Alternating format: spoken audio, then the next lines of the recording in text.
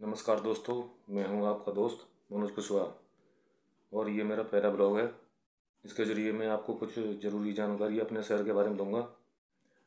तो चलिए आज हम सबसे पहले चलते हैं हमारे एक दोस्त, कपिल शर्मा के प्रतिष्ठान पर। और उनकी दुकान है बच्चों के खेल खिलौनों से संबंधित।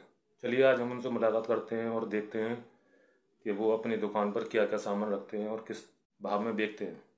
किस तरीके से अपने ग्राहक को संतुष्ट करते हैं। तो चलिए हम मिलते हैं अपनी अगली वीडियो में।